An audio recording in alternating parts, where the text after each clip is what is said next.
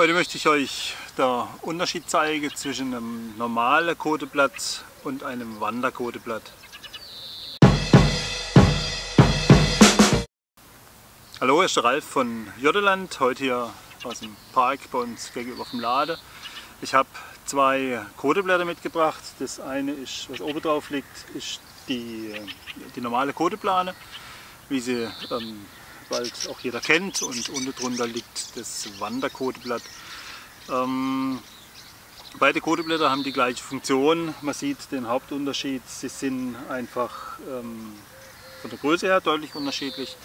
Während eine aufgebaute Kode aus vier normale Koteblätter einen Durchmesser von ungefähr 4 Meter hat, komme ich bei der Wanderkode dann schon auf ähm, ungefähr 5 Meter Durchmesser. Das heißt, ich habe ein deutlich größeres Platzangebot in der Wanderkode drin und ähm, kann da einfach mehr Personen oder mich etwas äh, großflächiger drin ausbreiten. Es gibt weitere Unterschiede an diese zwei Koteblätter, die möchte ich euch gern zeigen. Ähm, vorwiegend ähm, ist der Unterschied, dass ähm, die Wanderkoteblätter nicht mehr dazu gedacht sind, ein Jotterdach draus zu machen. Das heißt, ich habe nicht die Möglichkeit an der Seite ähm, was anzubringen. Dafür haben sie ein etwas optimierterer Verschluss. Also ist auch, ähm, funktioniert auch mit Schlinge und Öse, aber es, die Wanderkode hat eine Art Taschenverschluss. Das macht die an der Übergänge einfach noch mal etwas regedichter. So, und jetzt zeige ich euch einfach die, die Unterschiede im Detail. Dann könnt ihr euch das einfach mal genau anschauen. Oben das normale Kodeblatt hat hier ähm, Knopf und Knopfloch diesen 20 cm breite Erdstreife, während die Wanderkote hier auf Knopf und Knopfloch verzichtet und nur diese Öse zur Abspannung mitbringt. Hat auch einen Erdstreife, der ist etwas breiter, ähm, sind anstatt 20 sind es 23 cm. Das macht jetzt wenig der Unterschied.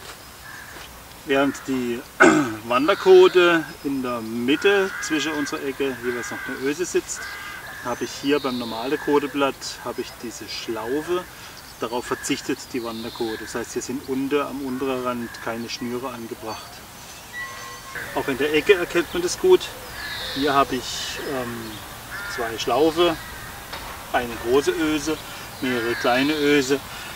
Die Wanderkode spart sich das alles und hat nur eine einzelne Öse um an der Wanderkode dennoch mit einer Schlaufe arbeiten zu können, dass ich meinen Hering nicht direkt durch die Öse stecken muss, kann ich mir einfach eine, eine Seilschlaufe nehmen und die hier durchstecke. So kann ich hier meinen Hering ähm, problemlos auch durch eine Seilschlaufe machen. Das kann ich vorbereiten schon, kann es dran lassen oder verwende das einfach nach Bedarf.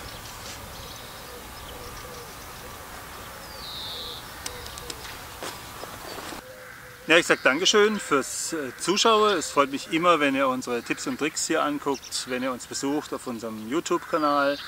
Abonniert unseren YouTube-Kanal, lasst uns einen Daumen hoch da. Das freut uns, das spornt uns an zum Weitermachen. Wir haben noch viele Ideen, die ähm, einfach in der nächsten Zeit für euch da noch umsetzen wäre. Kommt vorbei, guckt rein. Bis dahin wünsche ich euch viel Spaß. Euer Ralf von Jotteland.